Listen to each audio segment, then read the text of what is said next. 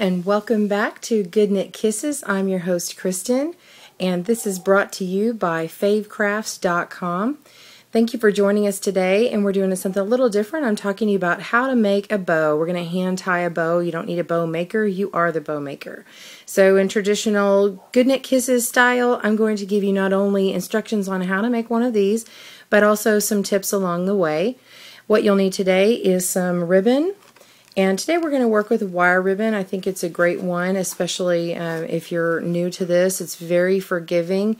You're going to need some scissors and a pipe cleaner or some sort of floral wire.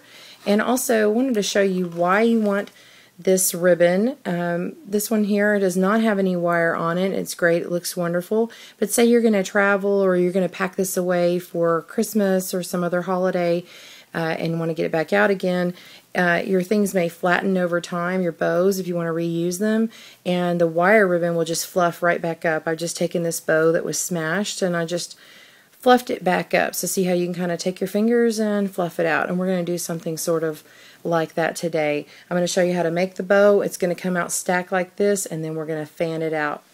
We're going to take our ribbon. This one was just um, says 100 feet on it, two and a half inch wide. Um, I like to buy a big amount. The 100 feet is about 33 yards or so.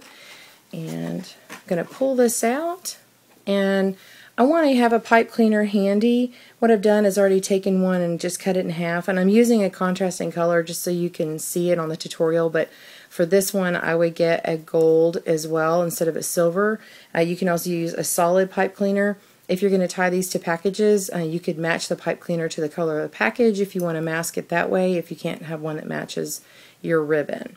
So we're going to take our ribbon, and on this one it doesn't have a good or a bad side on it, but uh, if we have a ribbon that has a pattern, we want to follow the outside and always keep that on top where we can see it.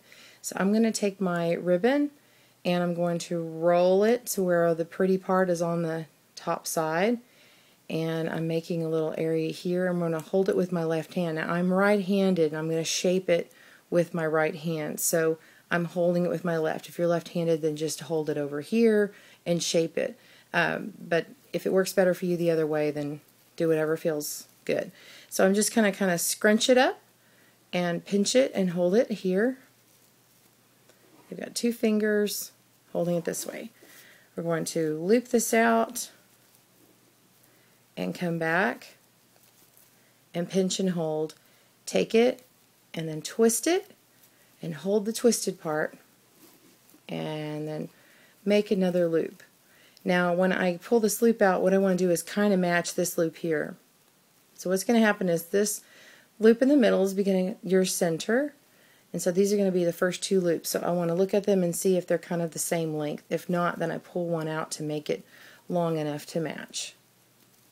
So once we have the first starting loops, then we're going to make a twist here and we're going to come back to this side and we're just going to keep stacking it. So pull this one out. And you can put your ribbon in a bowl off to the side or somewhere and you can match these first two on this side to the same length. Twist,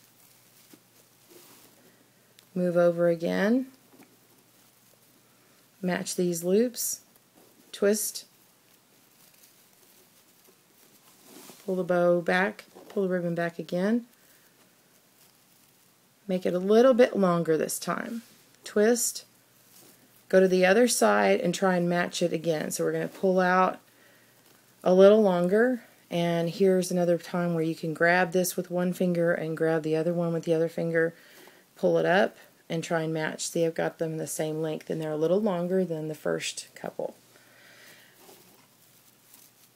and we'll stop here. Now, uh, I'm going to make this what I call a three loop bow where it's got three loops on one side of the middle and three loops on the other side.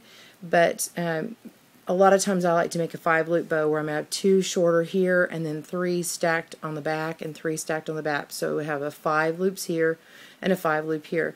What I want to do is just pop it over here and pop it over here and that's how my bow is going to look.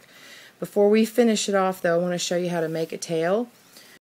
Pull this over um, the last of our ribbon, get some extra length. So we've got a nice extra big loop and we're going to clamp it on with our finger. And now I'm going to take my scissors and cut this extra slack of the ribbon. And there it goes. Just We don't need that ribbon anymore. And we're going to take our pipe cleaner, stick it through the middle section, this middle loop, just find it again, lay it down to where you've caught all of it, this extra beginning part that started your loop, make sure that it's on top of there. And now we're just going to wrap it around and take it and twist it tight, like you're sealing up a bag of bread or something. Just twist it real tight and I just kind of pull this together and I can use that to tape it down to a package and so now I'm going to pull this bottom loop out. I'm going to flatten it on this end and I'm now going to make a cut and I can I'm going to separate these. And I can cut it at an angle and then I end up having two pointed uh, ribbons or I can take it and it's already folded. I'm going to fold it in half again and then I'm going to go from the end of here and cut inwards, uh, cut upwards towards the bow on the fold side. So these are my outside areas where my wires are, and this is the inside crease. And I'm going to cut that. And look at that. Got nice tails. Now I'm going to come back here. And I've got my tails on here. And I've got my middle ribbon, and my middle loop. So I'm going to leave that where it is. And now I'm going to take these two side loops. I'm going to take this holding tight here, I'm going to yank it hard and kind of pull it and move it down. And then pull this one tight here. So I have two sticking out and then one in the middle. Do the same thing over here. Leave this one the same. Pull one down, pull one up. And now I have this terrific three loop bow, three loops on each side, so it's six loops total. I have two little tails that I can kind of manipulate and move around. This wire, I have this little trash piece here, and I've got this wonderful pretty bow that I can tie on a package. I hope you've enjoyed this tutorial. Thank you so much for joining me again in favecrafts.com. This is Kristen with Good Knit Kisses. Happy crafting!